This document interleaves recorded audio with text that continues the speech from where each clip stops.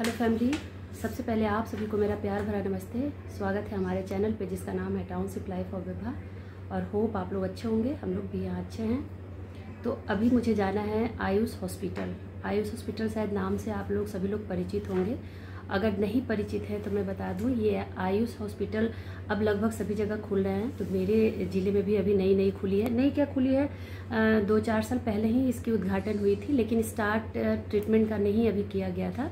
तो ट्रीटमेंट अब स्टार्ट हुआ है इस साल से। तो मैं भी वहाँ अभी जा रही हूँ ट्रीटमेंट कुछ करवानी है।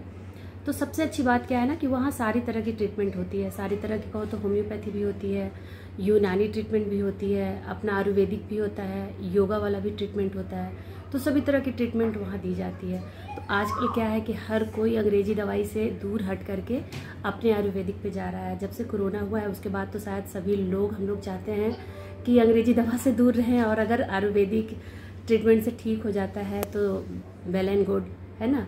तो बस देखते हैं हमारे ज़िले में जो आयुष हॉस्पिटल खुली है, वो कैसी है और आप लोग को भी मैं दिखाती हूँ कि वहाँ अभी कितना प्रोग्रेस हुआ है। अभी वो बन ही रहा है, जैसा मुझे पता चला है, मेरे हस्बैंड बताए हैं।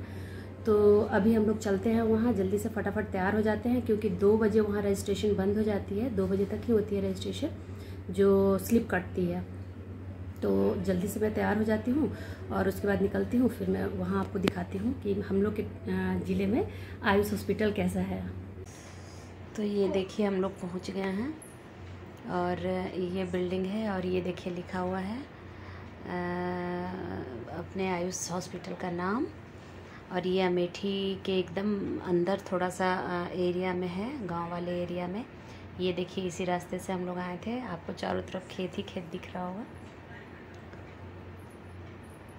मैं आपको दिखाने की कोशिश कर रही हूँ। इतना वीरान इधर लेकिन लग रहा है। बहुत दूर दूर में गाँव बसे हुए हैं। और, बस इस तरह से हम लोग को बताया गया था कि आप स्काई कलर की बिल्डिंग देखिएगा, एक ही बिल्डिंग है, उस रास्ते से आइएगा तो पता चल जाएगा आपको। तो ये देखिए स्काई कलर से पेंट की हुई है तो हम लोग भी पहचान गए थे कि वही है, क्योंकि ये दूर से ही दिख रहा था, अलग एक बिल्डिंग। तो इस तरह से यहाँ पे एक ठेले वाले भैया जी हैं। जो ठेला लगाए हुए हैं चाय वगैरह के लिए एक सिलेंडर रखे हुए हैं गैस चूल्हा रखे हुए हैं।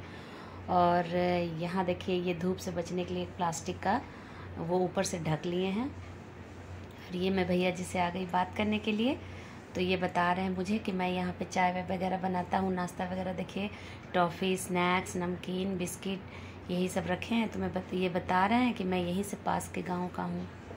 और फिर हम लोग अंदर आए तो अंदर आने पे ये देखिए जहाँ गाड़ी लगी है, वो एक मेन गेट है, लेकिन फ़िलहाल वो गेट अभी स्टार्ट नहीं हुई थी और इधर चारों तरफ़ जो है वो बाउंड्री है।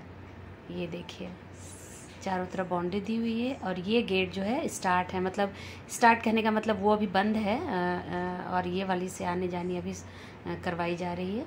और हम लोग पर्ची कटवाने आ गए हैं, ये भैया लोग पर्ची काटने वाले सेक्शन पे बैठे हुए हैं।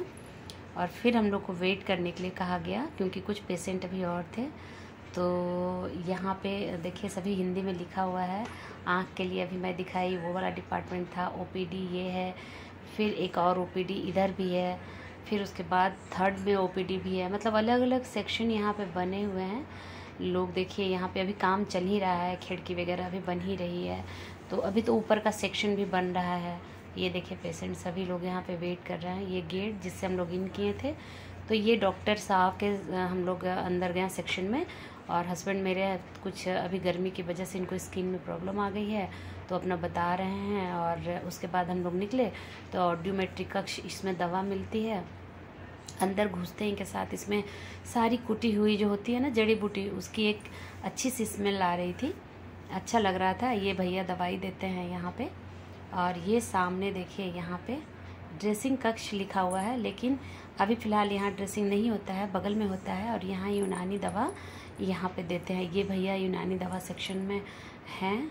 ये देखिए ये वाले भैया यूनानी दवा देते हैं।